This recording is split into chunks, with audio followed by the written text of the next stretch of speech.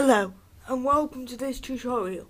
In this tutorial we're going to be going over how to set up things ready for Google without using any what you think what you get editors and um, using it all in HTML. If you look I've got the source code of CNN.com here and they've got the, the doc type and all that sort of stuff. But what we're interested in is this, where it says all, all the meta names. And if we look at the one that was defined as the description, which is that, and, and then we look at um, so it's, that, keep that in your head. And then we look at the result on Google and see what the, the description of that, that is.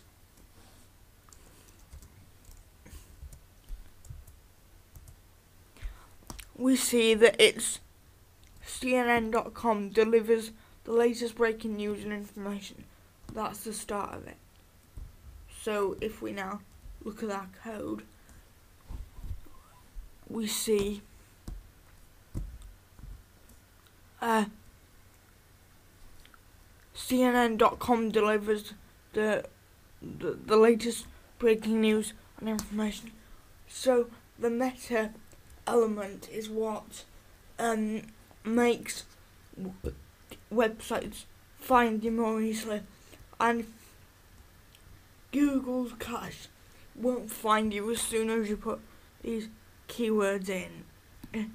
It's a lot. There's a lot more to it than that, but this is a very important part of it. So let's just go through the anatomy of a me uh, meta tag and what you want to do. Um, there's three types of meta tag that you're going to want to be playing around with. So just got a basic page here and meta tags always go in the head.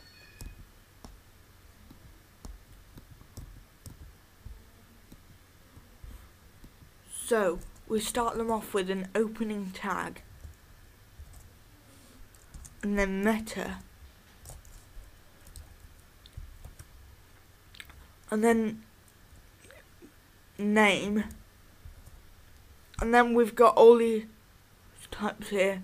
Author, description, generator, keywords revised. Um, to add keywords that we want people to search, we want so the key keywords option. So in here, we have to put the terms that we want people to search for on Google to find our site and then we've got more of a chance. So then after we've defined what the name of the type is, then we need to define the, co the content is so the um the content of this page is going to be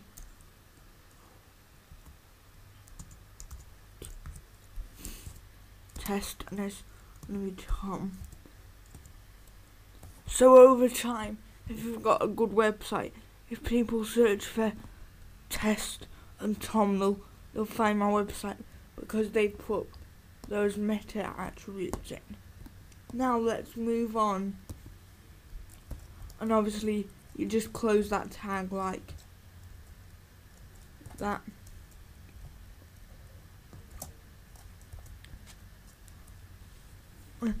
And now that we've done that, let, us move on to some other types of the name attribute. Well, there's the, the description attribute. So if we go meta, name, and then description, and then we define the content as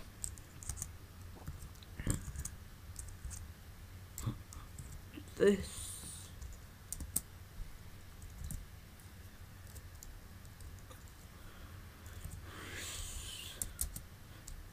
a test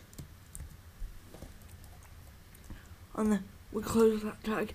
When, when people search on Google for our website over time that's what the description will be. So and the last one we want is um another type. Search meta name. And then this time we're going to define what the author is. And then we're going to define the content as